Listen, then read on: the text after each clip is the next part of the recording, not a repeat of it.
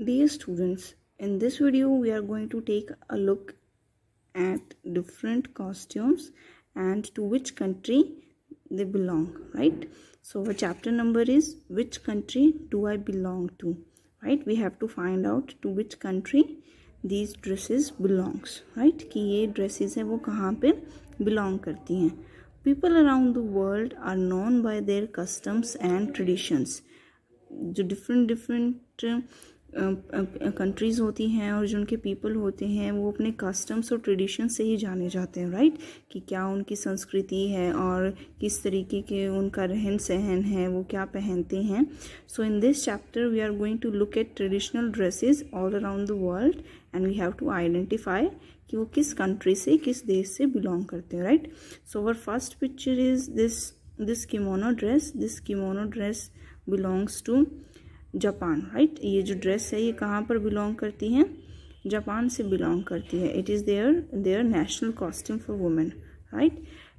just like that we have this this it's it's national costume of Indonesia kebaya right और आप देख सकते हो कि इनकी जो ड्रेसेस होते हैं, उनमें क्या होते हैं?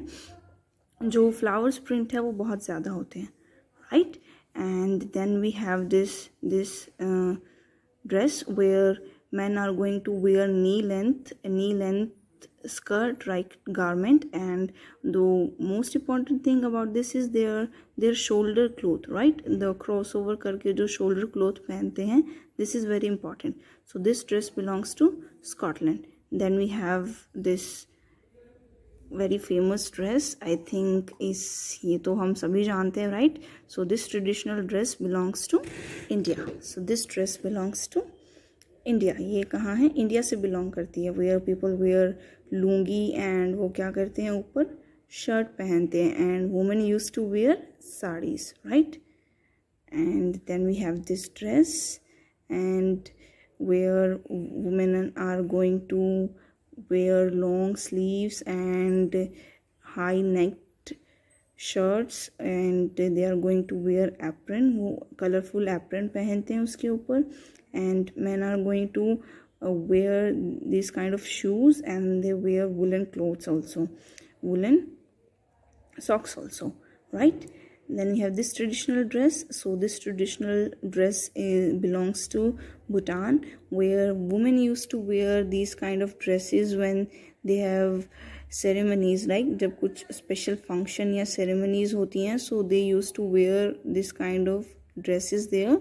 जहाँ पर वो क्या करते हैं लॉन्ग लॉन्ग जो स्लीव्स हैं, उनके ब्लाउज पहनते हैं और नीचे ड्रैप करते हैं क्लोथ को right and this this dress belongs to Kenya where they are going to wear cotton clothes और आप देख सकते हो कि उनकी जो क्लोथ्स होते हैं, बहुत ही कलरफुल पैटर्न्स होते हैं, उस पर फ्लावरी पैटर्न्स होते हैं और बहुत ही ज़्यादा हाई एम्ब्रॉयड्री होती है। Like look at their neck embroidery की कितनी ज़्यादा उन्होंने इसमें पैटर्न्स दिए हुए हैं।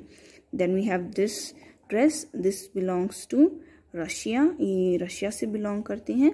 Where they use to wear straight lines straight lines aprons and plain shirts right so these this is all about the different different dresses where people wear these kind of dresses when they have some ceremony or special functions